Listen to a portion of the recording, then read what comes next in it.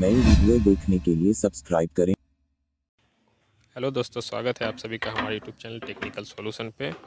दोस्तों, आज हम फुल्ली ऑटोमेटिक वॉशिंग मशीन का पानी जो स्लो आ रहा है या फिर उसमें अलार्म आ रहा है चेक वाटर का, उसको फिक्स कैसे करें वो देखेंगे, ठीक है? प्रॉब्लम क्या हो रहा है वो देखेंगे।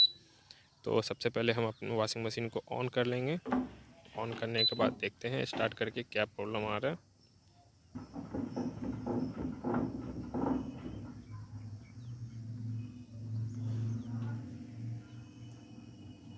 देखिए वॉशिंग मशीन ऑन हो चुका है।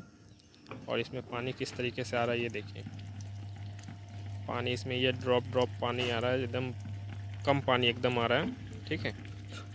बहुत ही स्लो पानी आ रहा है, इसके लिए हम इसको देखिए। बस ड्रॉप ड्रॉप इसमें पानी आ रहा है, जिसके कारण से है कि कस्टमर इस वॉशिंग मशीन को यूज़ नहीं कर पा रहे थे। लगभग एक महीने से वॉशिंग मशीन बंद पड़ा हुआ था, यही सिर्फ़ इसी प्रॉब्लम के कारण। तो आपका भी ये वॉशिंग मशीन में इस तरीके का प्रॉब्लम आ रहा है तो आप आसानी से फिक्स कर सकते हैं, ठीक है? तो आप इस वीडियो को पूरा देखें और आप अपने वॉशिंग मशीन में भी आप फिक्स कर सकते हैं और आप अगर रिपेयर कहीं करने जाते हैं कहीं पे भी तो इस तरीके से आसानी से फिक्स कर सकते हैं, ठीक है?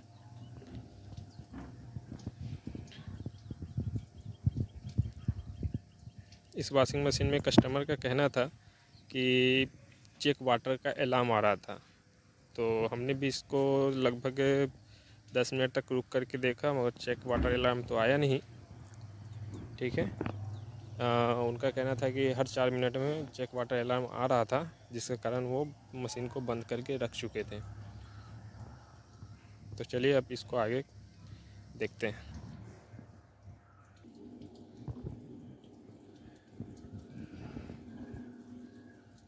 देखिए इसको लगभग 10 मिनट चलाने के बाद भी इसमें पानी किस तरीके से आया है। इसमें एक लीटर से भी कम पानी अभी 10 मिनट में जमा हुआ है ठीक है? तो चलिए इसको देखते हैं इसमें क्या प्रॉब्लम है। तो सबसे पहले हम इसका जहाँ पे पानी बंद कर देंगे नल से ठीक है जो पानी आ रहा है आपका वॉशिंग मशीन में। नल वाला। उसके बाद चला रहे क्या?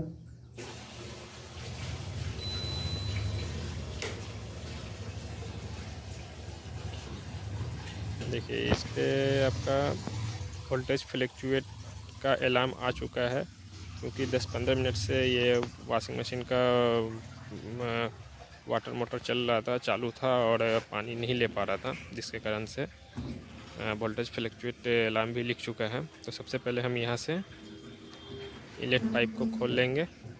देखिए, कितना ज़्यादा इसमें गंदगी जमा हुआ, इसमें कार्बन लगा हुआ, क्योंकि ये कार्बन वाला पानी रहता है वॉशिंग मशीन में बोर्डिंग वाला पानी रहता है। इसके कारण से इसमें कार्बन जमा हुआ है। तो इसको किसी नोज़ प्लास की मदद से इसको निकाल लेंगे। ठीक है। इस तरीके से निकाल लेना है। निकालने के बाद देखिए किस तरीके से इसमें पूरी हर तरफ़ हर तरफ़ से जाली, ये फ़िल्टर है। ये जाली नुमा रहता है और इस पर पूरा कार्बन जम गया हुआ है। इसको हम किसी ब्रश की मदद से इसको हम साफ़ कर लेंगे। इसको अच्छे से साफ़ कर लेना है।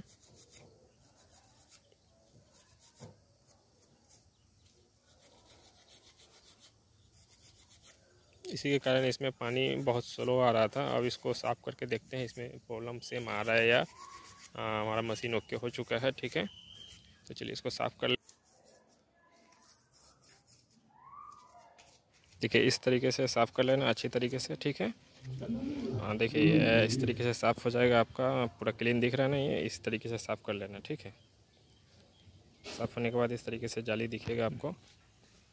साफ़ हो जाने के बाद हम इसको वापस से अपने वॉशिंग मशीन में इंस्टॉल कर लेंगे। देखिए, किस तरीके से लगाना है।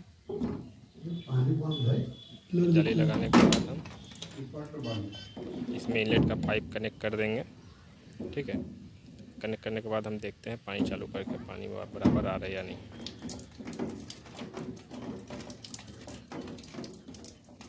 अच्छी तरीके से टाइट कर लेना है इसको, पानी लीकेज ना हो।